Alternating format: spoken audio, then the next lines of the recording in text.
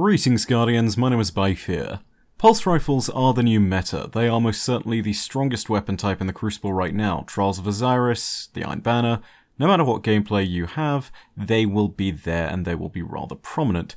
So, I decided to take it upon myself to discover what the best pulse rifle is for PvP, and to give you guys a little bit of information to help you make up your own mind, because, let's be honest, there is no such thing as the best. I did, however, manage to narrow down the field of competition to seven really strong pulse rifles. Now, before we start, keep in mind that pulse rifles come in one of four different kinds of categories. You have the really high impact ones, such as the Messenger, those can take out in two bursts. You have the ones like Nirwen's Mercy, those ones will be slightly faster and will take people out generally in three bursts, but they can two burst some low armored players. Then you have the faster firing ones such as Hawksaw, those will consistently take people down in three bursts, and then finally you have the highest rate of fire ones, which will take four to three bursts to take a player down. Now, here is the way that the competition is shaped up. The seven pulse rifles that I'm going to be taking a look at are as follows.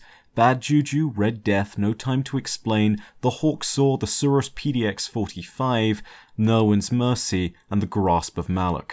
Let's start off with Red Death. It's well worth noting that this is one of those pulse rifles that is very much capable of landing an entire set of bursts for headshots and thus creating a two-hit kill. If in a single burst you hit all headshots, you will be doing three bursts of 34 damage. That's a lot, that's over 100 damage and generally speaking that will be enough to break a target's shields. The follow-up burst will generally be enough to then kill them. This means that lower armored players such as Warlocks and some Hunters will generally have to be very cautious around Red Death, and the perks are excellent on it. However, it's not always that easy to attain that 2-burst kill, and the real problem with Red Death is that it has a more sort of obscuring set of sights and a very nasty recoil pattern to it. It's harder to control than some of the other pulse rifles on this list, but if you can tame this beast, it's certainly worth picking up. Keep in mind that you can only really obtain that 2 burst kill if you're going to throw on aggressive ballistics. So, do that now. Learn to compensate for Red Death's recoil. Next up comes Bad Juju. This weapon most certainly is deadly in the Crucible. It has ascended from being one of the worst weapons when it used to have only 15 rounds in the mag to being one of the best. And there's no question about it, it is certainly a force to be feared. The weapon itself now grants you bonus damage as well with the String of Curses perk, and there are so many bonuses on the side to using it. You almost never have to reload. You can work with the weapon in terms of its great damage potential, and it's got excellent stability through the Perfect Balance perk. There are so many reasons to use Bad Juju on top of the fact that it has an excellent ratio of impact to rate of fire already. Finally, let's talk about No Time to Explain when it comes to exotic pulse rifles. Out of all of them, I would say this is probably the most lacking, and there's a good reason for it. It certainly does have strong damage potential, given the fact that it can score a 2 to 3 hit kill if your bursts all land as headshots. However, you then run into quite a significant problem. Periodically, the weapon will be obscuring its own sights. There's a visual glare effect given off by the barrel at the end of the gun, and this sometimes will make it harder to hit targets. Not to mention that you can have a similar but more deadly pulse rifle in the form of Red Death, and the weapon's perks generally leave a lot to be desired. It's not one of those weapons that seems specialized for PvP. Bad Juju regenerates your super more quickly, Red Death will actively heal you upon getting a kill, and it increases your reload speed. Sadly, No Time to Explain is great, but it doesn't have any of those bonuses. Next up, let's talk about one of the more unusual competitors in this contest, the Grasp of Malok. Sadly, even through all of my attempts to farm this weapon, I was unable to get it to drop. However, I was able to note that the stats that you get on the Grasp of Malok are, and I kid you not, identical to those on Oversoul Edict. And I'm not just talking about its rate of fire to impact ratio either, I'm talking about its stability, its range, its reload speed even.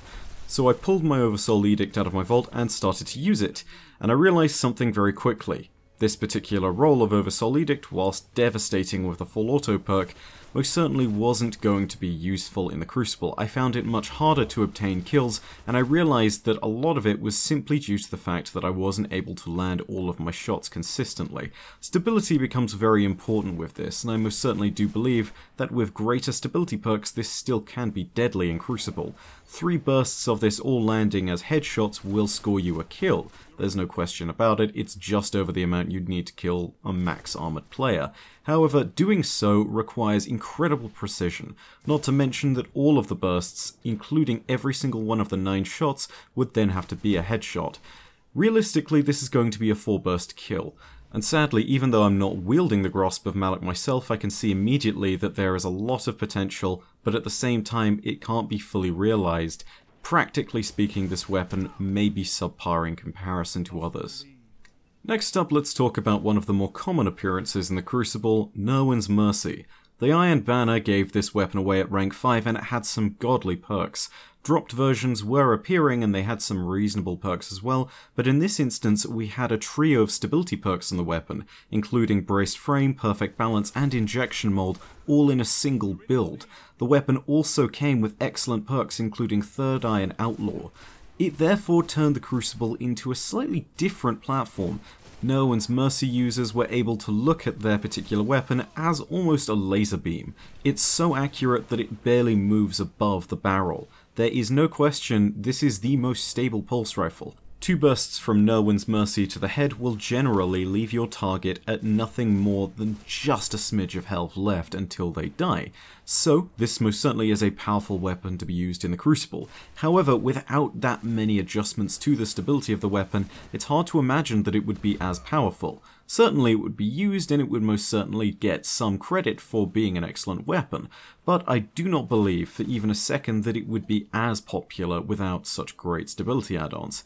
So at default, Nirwen's Mercy is actually not as good as many people give it credit for. It just so happens that in practice, the role we all managed to get dropping in the Iron Banner was madness, and as a result, the Crucible is filled with it.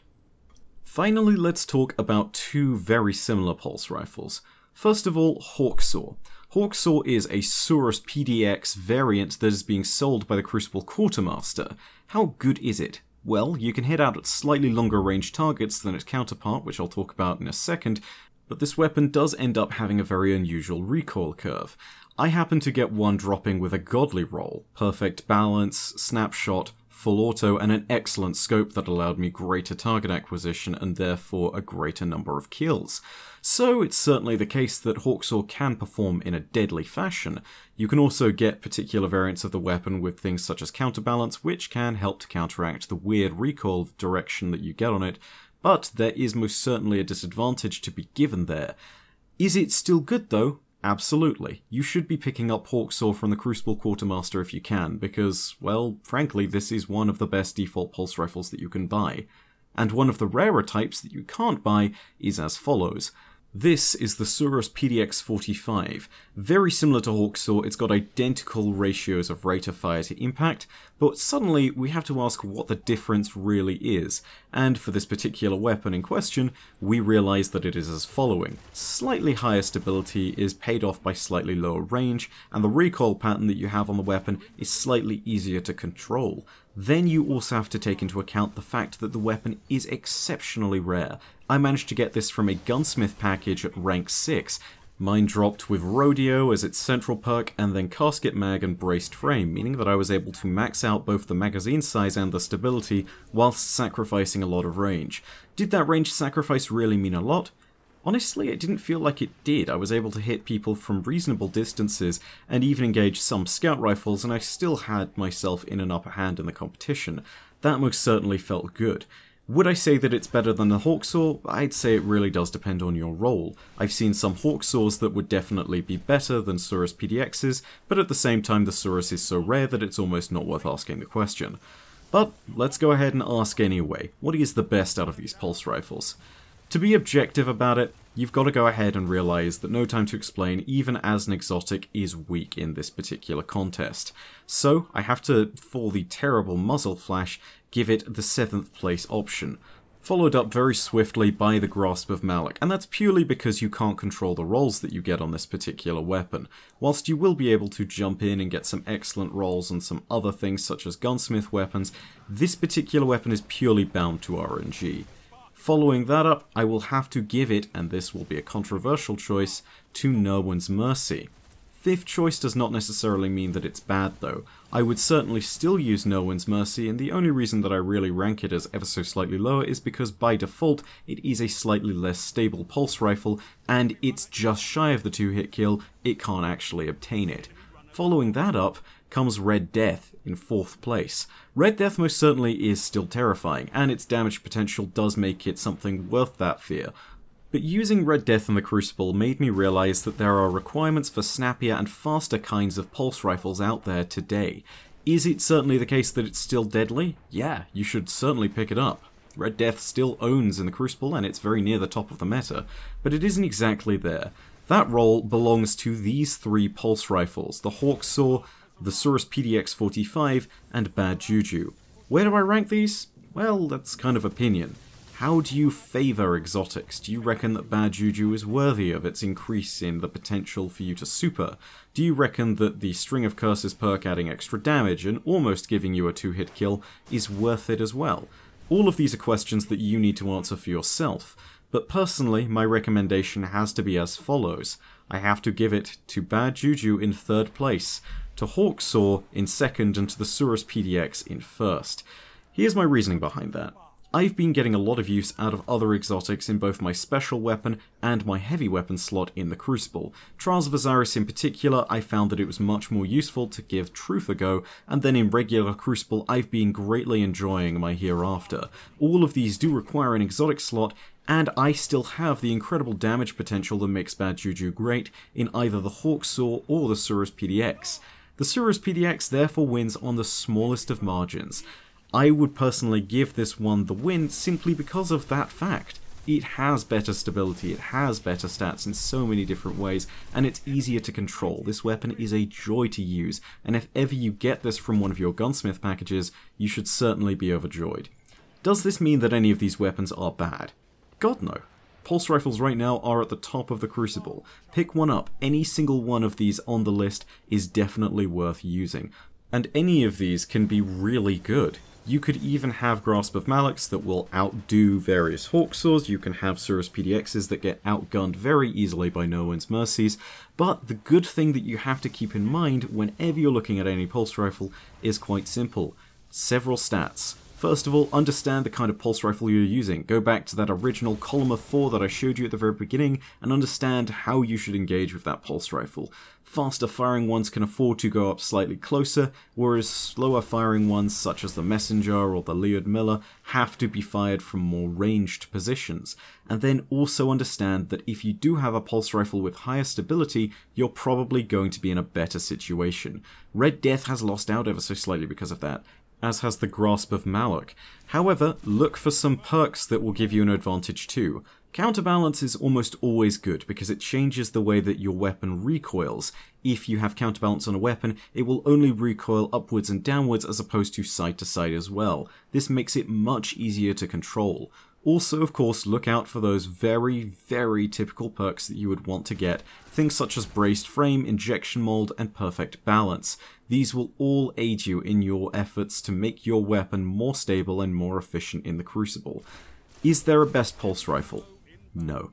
It would be ridiculous of me to even suggest it, but if you have any one of these seven, I can see you doing well in the Crucible. Personally, I'm of the opinion that pulse rifles such as Nirwen's Mercy are ever so slightly outgunned by pulse rifles such as the Suros PDX and Hawksaw and Bad Juju, but are they still worth using? God yes, pulse rifles full stop are worth using.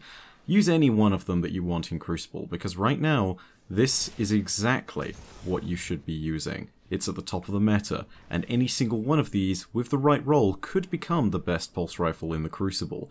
Right now, if I'm going to really be biased according to the roles that we have, I would say Nirwen's Mercy is at the top. That doesn't mean that the occasional awesome roll can't come around on, say, an Arms Day weapon, or maybe there's just a really good drop one week that you get from the Crucible. I don't know how you'll get it, but at the end of the day, if you do pick up one of these pulse rifles, it's worth consulting, taking a look at all the rolls that you've gotten, and realizing that, yeah, it could be a really fantastic pulse rifle. In the meantime though, if you enjoyed this video or found it helpful in any way, please go ahead and leave a like on the video, and make sure that you comment down below with what you think the best pulse rifle is. Do you reckon that Nirwen's Mercy is better than the Hawksaw? Do you think that it's one of the exotics out there, Bad Juju or Red Death? Do you reckon that maybe it's a pulse rifle out there that I missed? If so, comment that down below. But in the meantime, my name has been My Name is Byf. Per ad. I'll see you, Starside.